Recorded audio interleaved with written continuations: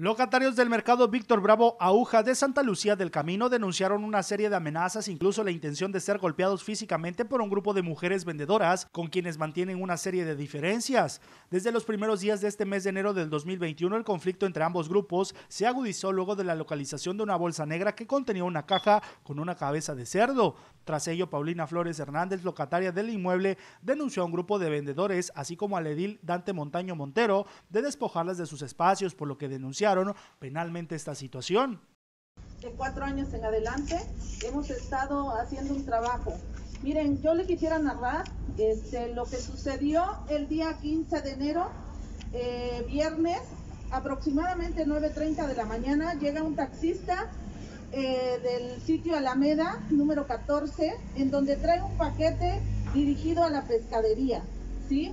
Eh, él dice que se lo da un, este, motociclista que se le había ponchado la llanta y que le pagó los servicios para traer este paquete. Al, corroborar esto, eh, el trabajador me llama por teléfono, yo me encuentro dentro del mercado y decido acudir personalmente para ver de qué se trataba. Se trataba de un paquete que no, no tenía nombre, pero que refirió la persona que iba dirigida a la pescadería que se encontraba al lado del carbón. Al checar este paquete, eh, no, al no, al, al, darme cuenta que no, no había yo solicitado nada, eh, lo vi como sospechoso y decidí darle parte a las autoridades.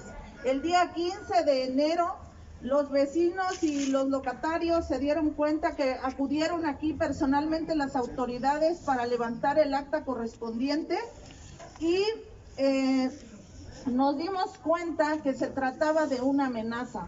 Compañero, yo no tengo enemigos, me dedico a trabajar.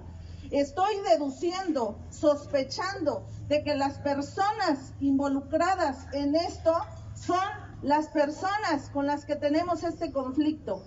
Por lo tanto, me di a la tarea de ir a levantar la denuncia correspondiente y es irreversible el daño moral que han hecho a mi persona, pero también confío en las autoridades que se llegará hasta las últimas consecuencias porque hemos sido objeto de calumnias, de amenazas durante todo este tiempo que hemos decidido levantar la voz únicamente para trabajar en paz, ¿sí?